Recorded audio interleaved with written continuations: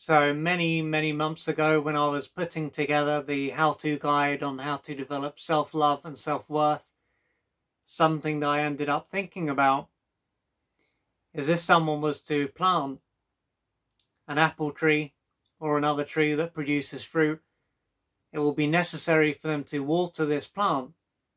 So to put in some effort, and then as time goes by, soon enough, fruit will be produced and this fruit will be available for them to eat and they won't need to do anything more. They can just eat this fruit.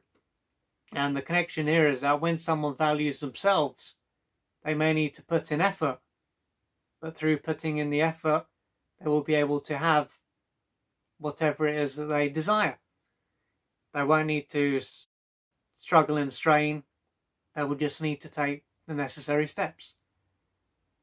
But of course, when someone doesn't have a felt sense of their own worth, then they can put in lots of effort and effort and effort, and even if they are able to attain what it is that they want, they can still believe that they don't deserve it.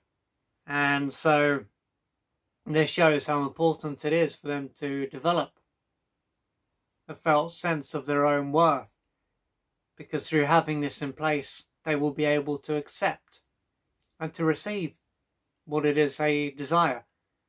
But without this, they can work very hard and almost kill themselves, and they may not get what they desire, and even if they do, as I've said, they can still believe that they are not worthy of what it is that they want.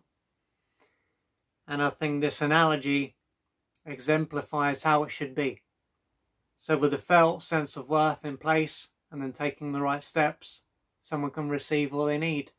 But without this, even if they do receive what they need, they can still feel unworthy of it.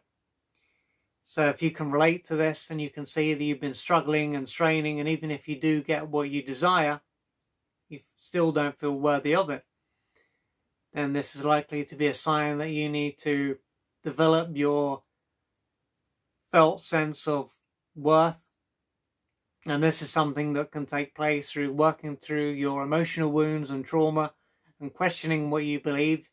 And this is something that I go into in the how to guide that I wrote about how to develop self love and self worth.